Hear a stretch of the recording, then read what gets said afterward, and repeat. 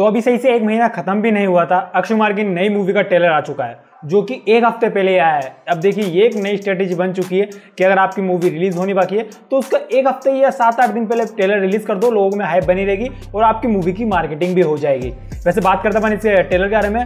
देखिए, अक्षय कुमार, अगर इन टॉपिक्स के ऊपर हम मूवीज़ बनाते हैं तो दोस्तों वो काफ़ी चलती है। आप कोई सी मूवी उठा लीजिए, जैसे कि आप केसरी मूवी उठा लीजिए या कोई अदर मूवीज़ उठा लीजिए, जैसे रुस्तम मूवीज़ होगी, जो कि सीरियस मूवी होती है तो अक्षय कुमार की काफ़ी अच्छी खासी चल जाती है। अभी लास्ट हम देखा ओ एम जी टू जिसके अंदर उन्होंने कुछ ज़्यादा खास तो उनका रोल नहीं था मगर वो मूवी अच्छी खासी चली बॉक्स ऑफ़िस के ऊपर। ये लगता है कि ये मूवी भी चल जाएगी, क्योंकि उनके आसपास या उससे पहले उसके बाद में अभी कोई इतनी बड़ी मूवी रिलीज़ भी नहीं हो रही। हाँ इस हफ़्ते रिलीज़ हो रही है फुकरे थ्री जो कि इतना बड़ा इंपैक्ट नहीं डालेगी। अपने अक्षय कुमार जो मिशन रानीगंज है, इसके ऊपर इतना इंपैक्ट नहीं डालेगी। वैसे ट्रेलर इसका काफ़ी अच्छा है। काफ़ी ऐसा अट्रैक्टिव लगता है कि हाँ हम इस मूवी को ट्राई कर सकते हैं थिएटर्स में दे सकते हैं। सीरियसनेस है, जहाँ पे हम इतने बड़े पर्दे पे देखेंगे और हमें बिल्कुल पेन डॉप साइलेंस रखना पड़ेगा। और दोस्तों, इस सीरीज़ के साथ हमें ये भी दिखा दें कि डिटेल में चल जाए कि भाई किस तरह से बचाएँगे, किसका क्या प्रोजेक्ट होने वाला है।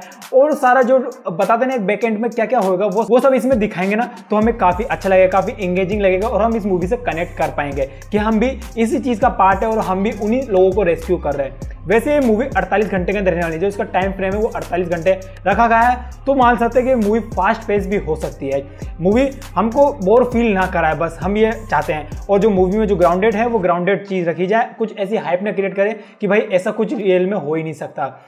वैसे रियल हीरो का नाम था जसवंत सिंह गिल, जो कि ये कैरेक्टर अक्षय कुमार निभा रहे हैं। देखा अक्षय कुमार के ऊपर सीरियसनेस तो दिखती है। और ये ये इस मूवी के अंदर डाल पाती है, नहीं, वो तो मूवी रिलीज़ होने के बाद मालूम पड़ेगा। मगर अक्षय कुमार के बारे में पूरा विश्वास है, जो कि छह अक्टूबर को मूवी रिलीज़ होगी ये दोस्तों मूवी तो देखनी बनती बनती है। वैसे आप भी अपने नीचे ओपिनियन बताए। अब रखती है साइड बात तो अगले हफ़्ते रिलीज़ होगी। अब बात करते हैं दिसंबर में, जो कि खतरनाक क्लैश होने वाला है। हमने देखा था कि प्रशांत नील की के चैप्टर वन जो कि कोई नहीं जानता था उस टाइम पे, ना यश को, ना प्रशांत नील को इतना कोई जानता नहीं था। उस टाइम पे लगी थी ज़ीरो मूवी 2018 के अंदर, जो कि 21 दिसंबर को लगी थी। अब वही हिस्ट्री द्वारा दोस्तों रिपीट होने वाली है, जहाँ पे हमको दिसंबर के अंदर सालार प्लस डंकी का कलेश देखने को मिल सकता है। वैसे दोस्तों होम वाले फ़िल्म की तरफ़ से या प्रशांत नील की तरफ़ से सब कोई ऑफिशियल अनाउंसमेंट तो नहीं आया, मगर उनको एक रूमर्स निकल गया है कि कई लोगों को ऐसा मेल आया है कि कि ये मूवी 22 दिसंबर को रिलीज़ होगी, जो कि डंकी की डेट है। उसी दिन सालर मूवी भी रिलीज़ होगी सालर के वेकर्स की तरफ़ से एक और अपडेट आई थी कि ये मूवी का भी क्लाइमैक्स शूट होना बाकी है, उसको दोबारा शूट किया जाएगा। प्रशांत नील को मज़ा नहीं आया।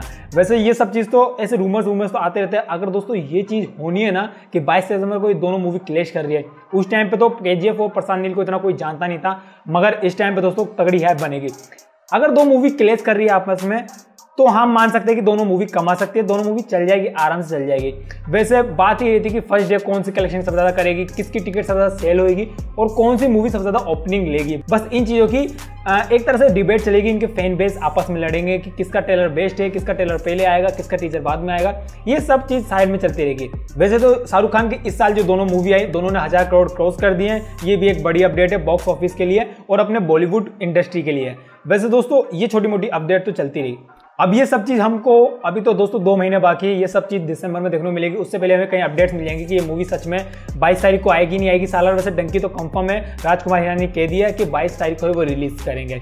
वैसे आप अपने, मुझे ओपिनियन बताए, दोनों को साथ में क्लेश करना चाहिए या नहीं करना चाहिए हिस्ट्री रिपीट होगी नहीं होगी वैसे दोस्तों पिछली बार तो अपने एस के जीत के थे, इस बार क्या जीत पाएँगे, नहीं जीत पाएँगे? ये मैच ट्राई हो जाएगा। वैसे आप अपने ओपिनियन नीचे कमेंट में ज़रूर बताएँ। जाते जाते मैं आपको एक छोटी सी अपडेट और देता हूँ। तेरह अक्टूबर यानी अगले महीने नेशनल सिनेमा डे मनाया जाएगा, जो कि पिछले साल से स्टार्ट होता। है इसमें हमको 99 में टिकट प्राइस देखने को मिलेगी। हाँ आपको रिक्लाइनर या फोर का मज़ा तो नहीं मिलेगा, मगर नाइनटी में आप इसे इंजॉय कर सकते हो। बस ये फ्राइडे तेरह अक्टूबर को ही लागू होगा जहाँ पे आप कोई सी मूवी नाइनटी में देख सकते हो। वैसे दोस्तों, ये थी आज की वीडियो अगर आपको वीडियो पसंद आए तो वीडियो को लाइक करें और ऐसी और वीडियो के लिए प्लीज़ जुड़े रहे। सब्सक्राइब करके क्यों नहीं जाते? प्लीज़ सब्सक्राइब कर दीजिए फीडबैक दिखाइए लाइक बटन को दबाइए। फिर दोबारा मिलेंगे एक नई वीडियो के अंदर।